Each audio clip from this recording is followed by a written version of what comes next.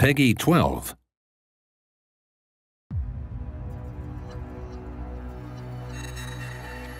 A test of power. I guess we'll see. This will be when the true battle begins.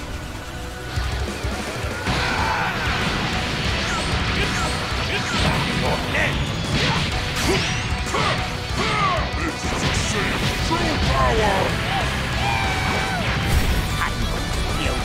A million pieces! Just like I did that earlier. You talking about Krillin? Don't you dare! I'm not going to hell alone. You are only on a ride! Are you ready? Do it! Well, the way you slice it, there's only one way to save her. Bye, my friends.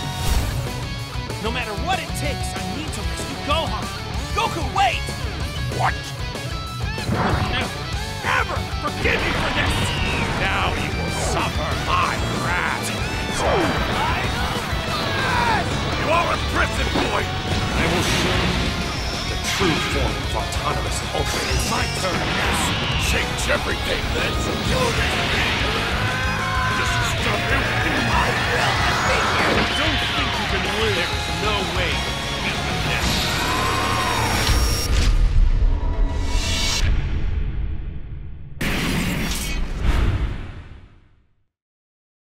皆さんこんにちは。ドラゴンボールスパーキングゼロのメインプロデューサーの古谷と申します。本日はよろしくお願いいたします。先ほど皆様に見ていただいたのは6月上旬に公開したトレーラーでした。映像にもありました通り本作は10月10日に発売決定いたしました。応援してくださっている皆様には改めて感謝申し上げます。発売を楽しみにお待ちいただけたらと思っています。今回はトレーラーではお伝えしきれなかった2つのゲームモードエピソードバトルとカスタムバトルの詳細を新規ゲーム映像を使用してお伝えいたします。まずはエピソードバトルです。このモードは悟空やベジータなど8人のキャラクターから選んだキャラクター目線で原作の物語に沿ったシチュエーションのバトルを楽しめる一人用のモードです。物語の流れやシチュエーションがわかる導入パートと実際にプレイするバトルパートを繰り返しながら進めていくものになっております。キャラクターごとにボリュームは様々ですが最も長い悟空については「ドラゴンボール Z」のラディッツとの戦いから始まり「ドラゴンボールスーパー」の力の大会編の戦いまでのバトルステージが用意されています。原作で苦戦していた相手と歯応えのあるバトルが楽しめるようになっていたり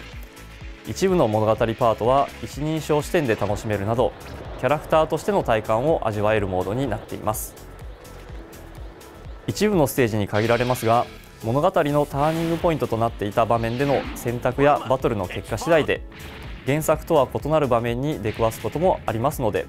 ぜひドラゴンボールのキャラクターになったつもりでお楽しみください。以上がエピソードバトルの説明となります。そして2つ目のモードカスタムバトルをご紹介いたします。こちらはオリジナルのシチュエーションのバトルを楽しめるモードです。カスタムバトルモードの中にあるエクストラバトルではゲームオリジナルのさまざまなシチュエーションのバトルをお楽しみいただけます。中には特殊な勝利条件のものや途中でイベント演出が挟まるものなど通常のバトルとは異なる戦いもお楽しみいただけます。またエディットモードではプレイキャラクターやバトル前後のカットシーン会話などをレイヤーの皆様が自由に設定してオリジナルのバトルを作ることができます。そして作ったものはアップロードして世界中のプレイヤーの皆様と共有できますのでぜひ皆様の思い描くシチュエーションのバトルを披露し合って楽しんでいただけたらと思っております。エクストラバトルを含め既存のバトルをカスタマイズして新たなバトルを作ることもできますのでぜひいろいろなバトルを作って遊んでみてください。以上エピソードバトルカスタムバトル2つのメインモードのご紹介でした。またゲームモードに加え皆様から多くの声を頂戴しているオフラインバトルに関してもお話ができればと思います。本作はプレイヤーの皆様がどれだけドラゴンボールのキャラクターになりきった体験ができるかということにフォーカスして開発を進めてまいりました。気を高めるだけで風が巻き起こったり天気が変わったりバトルの余波で岩や建物が豪快に壊れたりなど超パワーをより気持ちよく体感できるよう最新のプラットフォームだからこそ実現できるさまざまな演出をリアルタイムに描くようにしています。それらの表現とかつてのような画面分割でのローカル対戦とを両立させるのは困難であったものの皆様により良いゲーム体験を提供できるよう今作ならではの形を模索しオンラインでの対戦を前提とした1人用のゲームとして開発を進めてまいりました。ただ少しでもより多くの方多くのシチュエーションで遊んでいただきたいと思い結果精神と時の部屋限定で画面分割対戦を実装できることとなりました。もともと1人用前提で作ってきておりましたためバトル開始前のキャラクター選択画面では2人同時に選択ができず切り替えが必要といった不便な箇所が残ってしまいますが身近な人とお楽しみいただけると嬉しいです。今回ご紹介させていただくゲーム内容は以上となりますが本作の魅力がお伝えできていれば幸いです。また現在予約解禁しております。通常版だけではなく発売より少し先に本編をプレイすることができるアーリーアクセスが入ったデジタルデラックスエディションやアルティメットエディションなどさまざまな販売形態を用意しておりますのでチェックしていただければ幸いです。